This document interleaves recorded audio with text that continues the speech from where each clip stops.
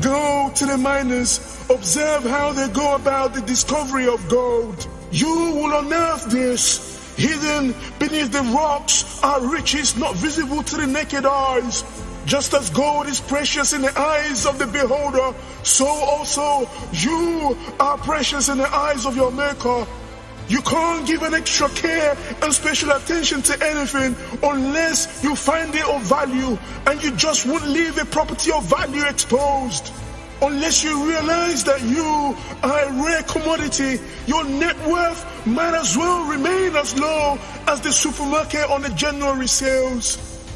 When you come to a realization of your uniqueness, there's no one out there that fits your mold, then you appreciate that selling yourself short is never an option. Every day has its challenges, and this challenge will test your character and the metals you're made of to see if you're really worth the price tag you placed on yourself. No matter what the day may have brought, no matter what the day may bring, this does not change your worth. You remain significant. You must learn that true happiness comes from within. You have to make happiness happen for you.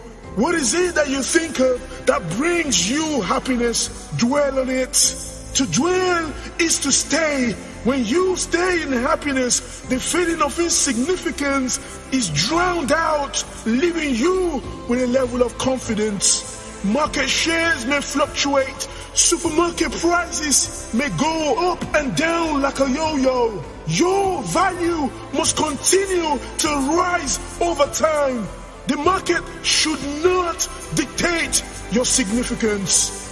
If you are ever going to relegate yourself to the non-competitive league, you may have just defined your playing field, but remaining there has got to be for a moment a time to reassess and realign your strategies for your next move. When you find yourself in this league, you have to realize that you are your competitor. No one else is buying into your vision but you alone.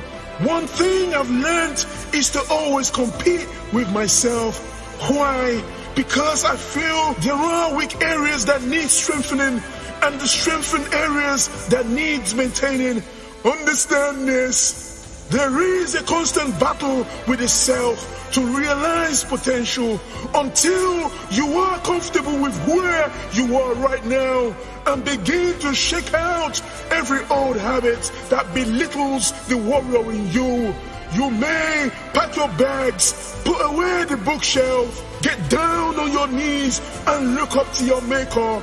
We are all members of a functioning system, each contributing to foster a network of growing, vibrant community that thrives even at the face of an economic meltdown. This is who you are, valuable to the whole body. Never forget that. So we arise this day, keep declaring, I'm rare, I'm unique, bold, worth it. Who am I? Am significant.